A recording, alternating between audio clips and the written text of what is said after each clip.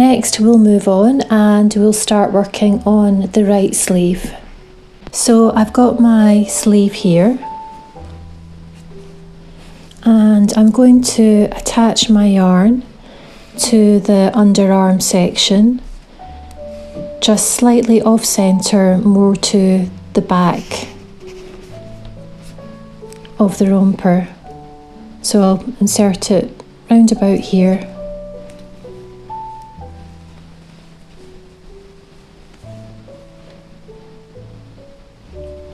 just slightly there's the center so it's just slightly off center more to the back.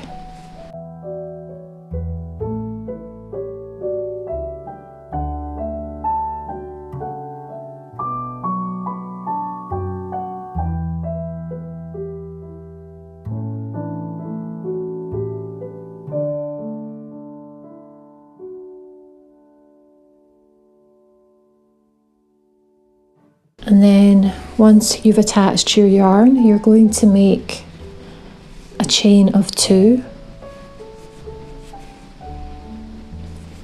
And this chain two doesn't count as your first stitch, okay? And then back into the same spot where we attached our yarn, we'll work one double crochet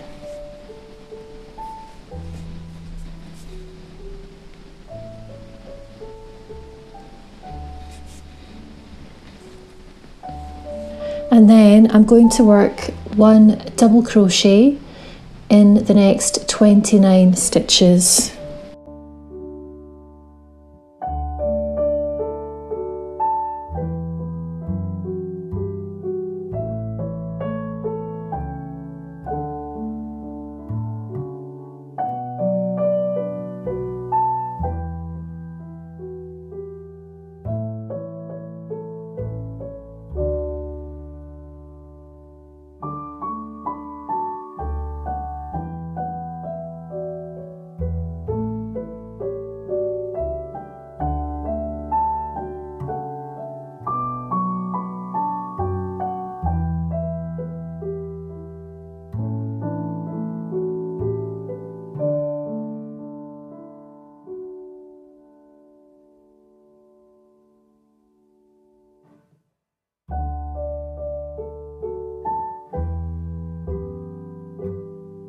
Just worked my 30 double crochets. And I did mean to say 30 and not 29 so apologies about that. And I've come back to the beginning and I'm going to skip the chain 2 and I'm going to join the round by slip stitching into the top of the first double crochet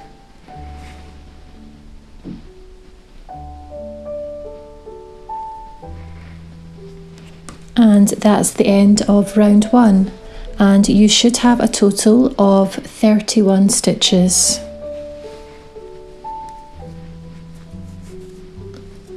For round two, you're going to chain two and then you're going to turn your work.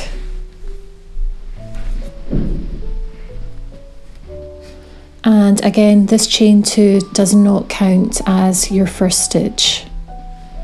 We're then going to work one double crochet two together. So going back into the same stitch at the base of the chain two,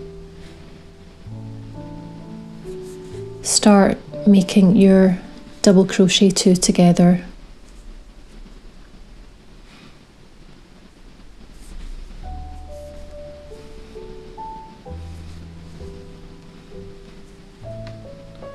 And then we're going to make one double crochet into each stitch until we've got two stitches remaining.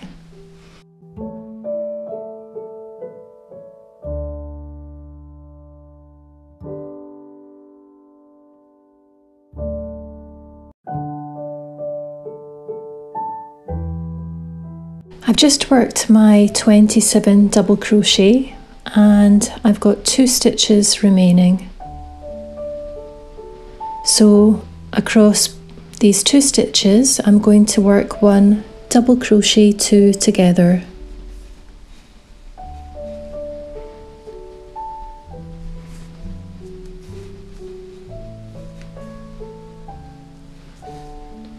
And then I'm going to come over to the double crochet two together that we made at the beginning.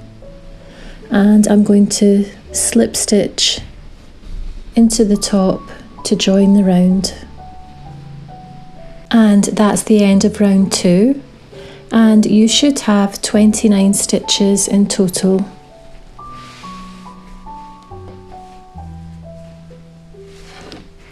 For rounds 3 to 12 you're going to chain 2 turn your work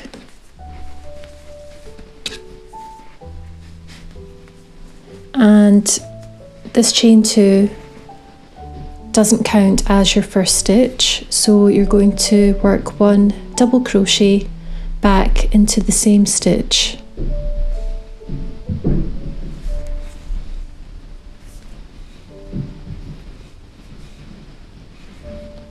and then you're going to work one double crochet into the next 28 stitches.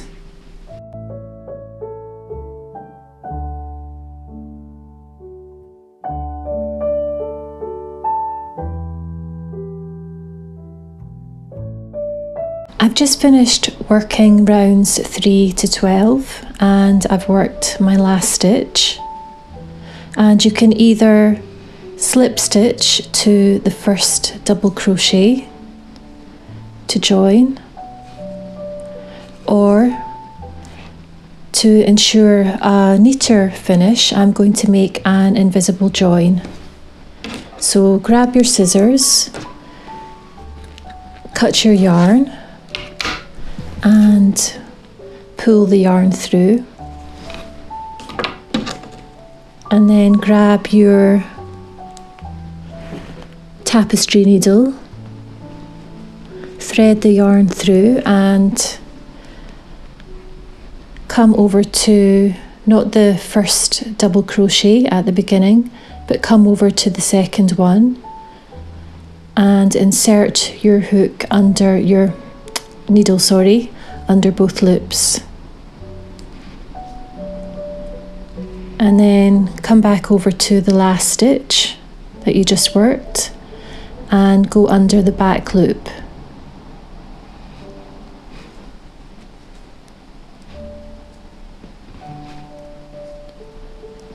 And there you've created a nice seamless join. It just looks like the top of a normal stitch and that sits over the first double crochet that you made. And then just weave your yarn tail in I've just finished working rounds 3 to 12 and you can see that the sleeve has now been finished. Next thing we'll do is we'll work on the left sleeve and we'll do this in exactly the same manner.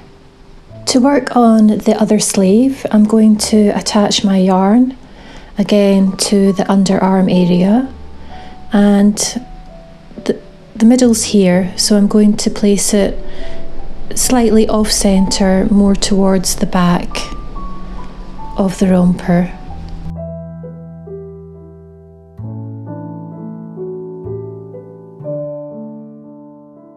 So I'm just going to grab my yarn.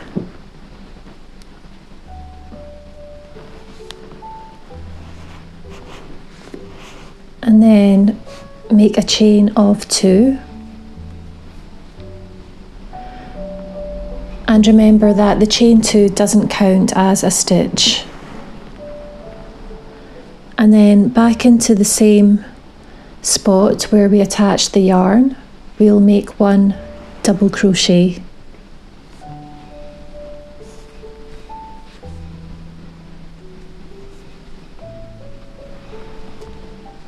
And then we'll work one double crochet into the next 30 stitches.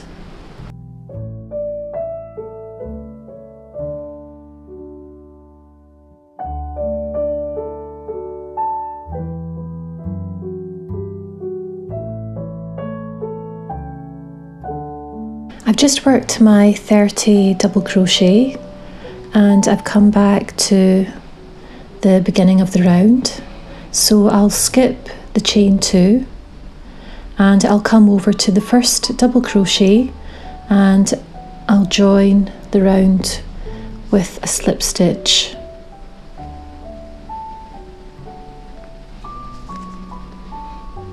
and at the end of round one you should have 31 stitches. For round two you're going to chain two and turn your work. And just to point out that this sleeve is worked in exactly the same manner as the first sleeve that we worked. I'm then going to work one double crochet two together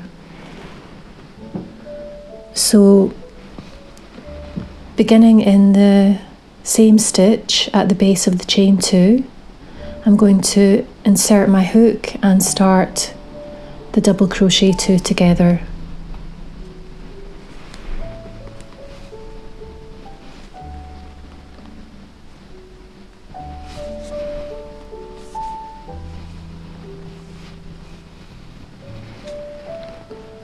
And then I'm going to work one double crochet into the next 27 stitches.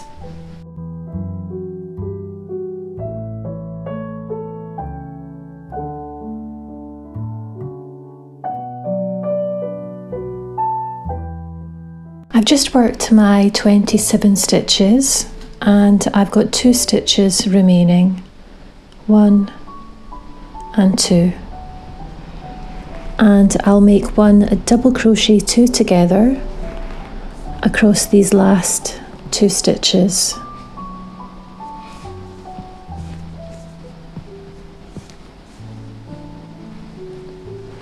And then to join the round, I'm going to come over to the first double crochet two together that I made and join with a slip stitch. And at the end of round two you should have 29 stitches in total. For rounds 3 to 12 you're going to chain 2, turn your work and then work one double crochet into the same stitch. So in here at the base of the chain 2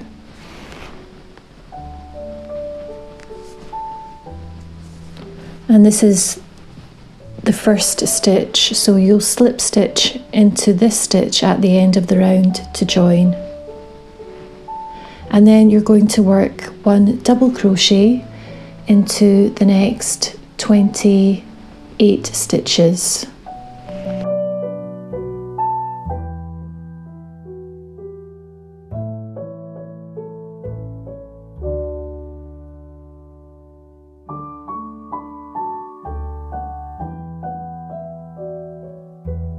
And here's what your little onesie will be looking like after you've worked both sleeves.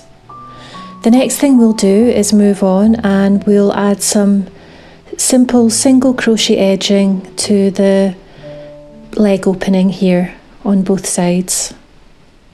To begin working on some edging for the leg openings and the little fastening area, we'll add some buttons later on come over to the back, the lower back part, and I'm going to attach my yarn to the first stitch.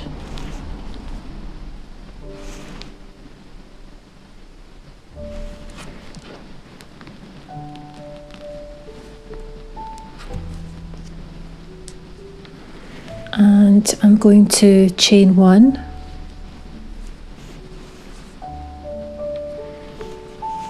and then into the same stitch I'm going to work one single crochet.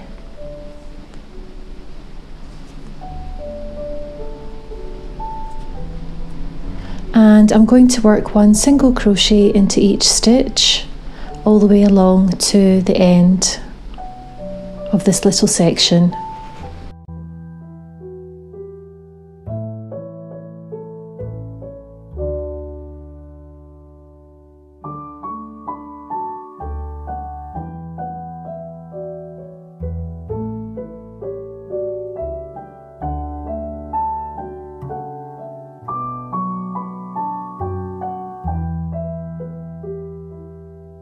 you get to the corner, place another single crochet into the last stitch.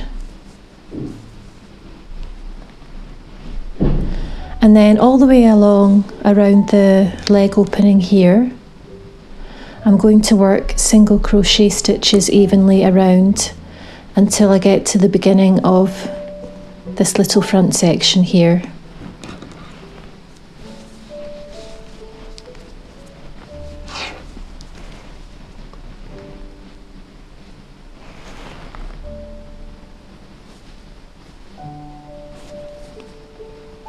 So don't worry too much about the number of single crochet that you place around the leg opening.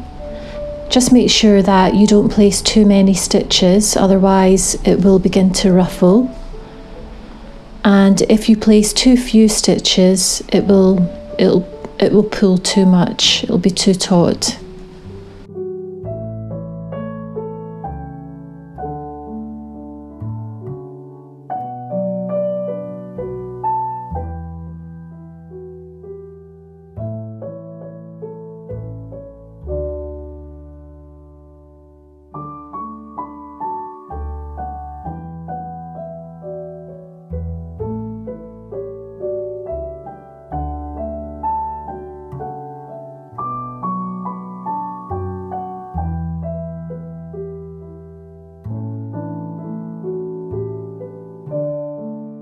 I've been working my single crochet stitches all the way around the leg opening here.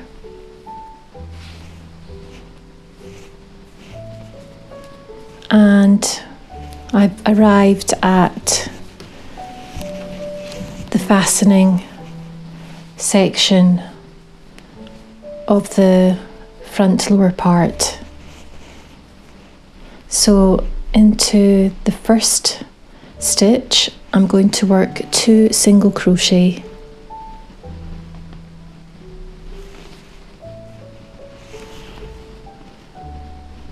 So there's one and then another one into the same stitch.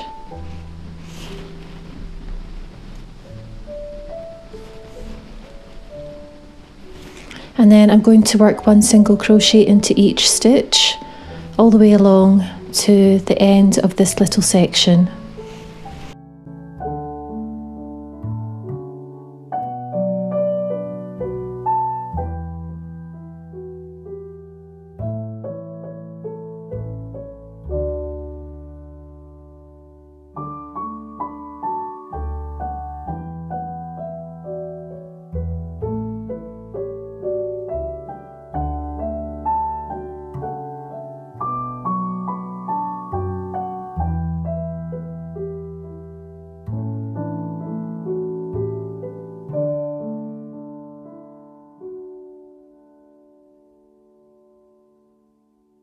And then into the last stitch here I'm going to work two single crochet.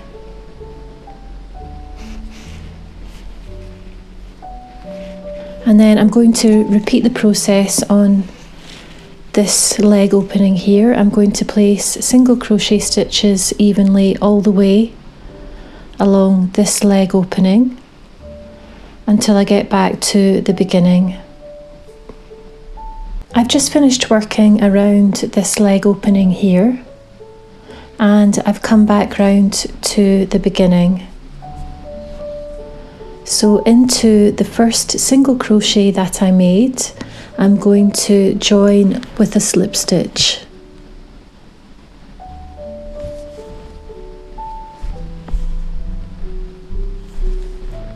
And then I'll grab my scissors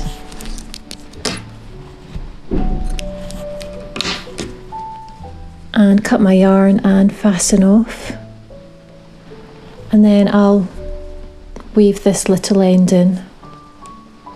The last thing we're going to do to our little onesie is create some edging for the neck opening and all the way around the neck.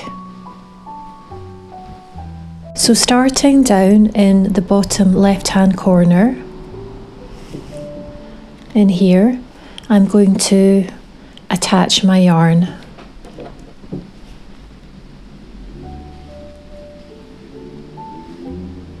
And then I'm going to chain one. And then back into the same spot, I'm going to make one single crochet.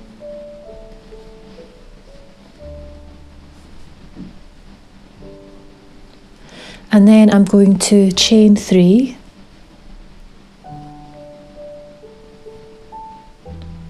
and then I'm going to single crochet back into the same spot.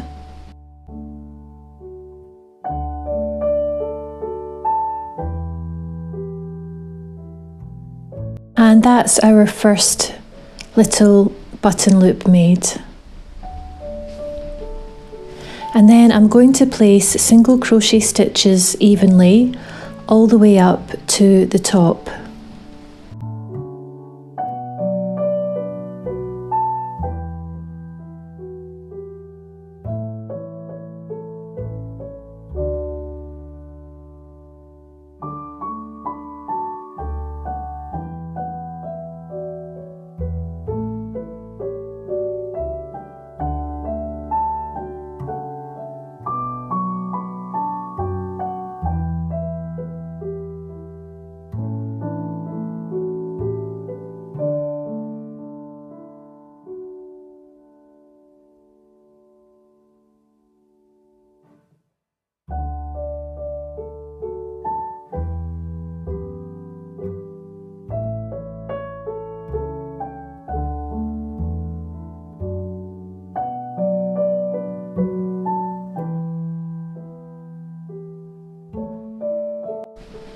And then when I get to the, you've got the row of single crochet here, when I get to the last row of double crochet, at the end I'm going to work one single crochet and then chain three. And then I'm going to work another single crochet back into the same spot. And I've just formed the second little button loop and then coming up to the top into the first stitch here into the corner I'm going to work two single crochet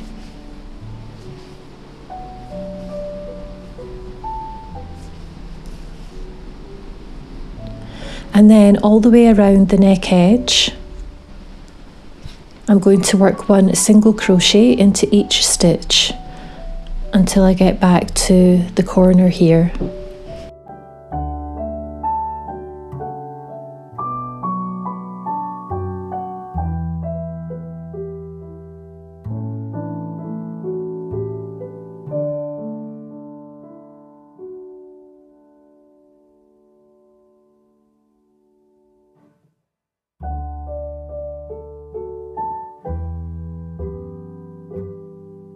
I've been working my single crochet stitches all the way around the neck edge and I've arrived back at the other side. Into the last stitch I'm going to work two single crochet.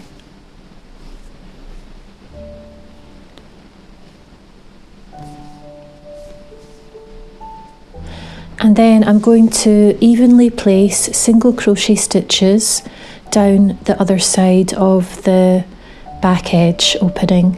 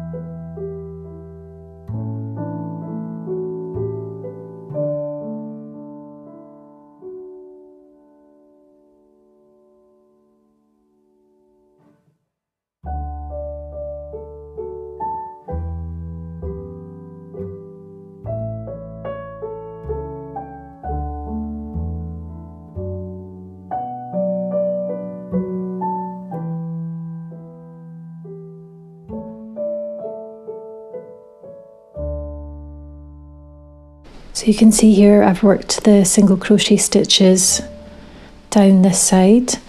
And I've just worked my last single crochet stitch. So I'm going to grab my scissors cut my yarn and fasten off. And then I'm just going to weave my end in going to sew my little bear applique onto my onesie and I've placed it five rows down from the top. So one, two, three, four, and five.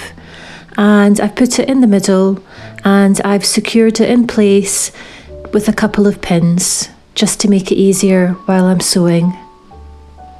And remember, there is a separate tutorial on how to make the bear applique. I'll put the link to that in the description box below. So what you're going to do is insert your needle through the loop and then pick up a loop on the romper and pull the yarn through and then come over to the next loop on your applique and come over and pick up a, a corresponding loop on your onesie.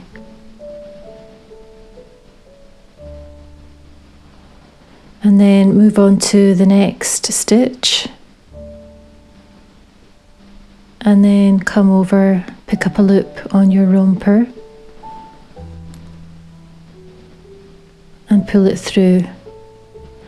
And don't do what I did to make sure that you leave a long tail for sewing. But this is the way you're going to sew your applique onto your onesie.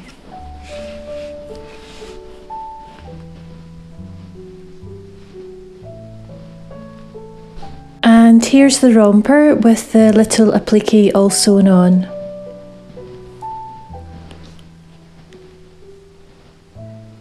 And I sewed three buttons onto the bottom.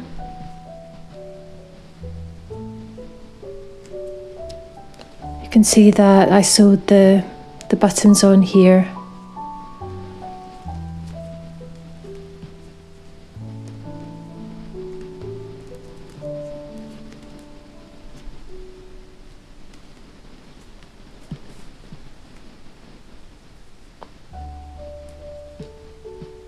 So I sewed them on on in this row here. And with the buttons, I just pushed them through one of the double crochet stitches and you can see that this creates a gap. And at the back opening, you just need to sew on your two buttons and then push them through the little button loops. I really hope that you enjoyed this tutorial. If you liked it, please consider giving it a thumbs up and subscribe to my channel and hit the little bell icon so you don't miss out on any future videos that I upload. Thanks for watching.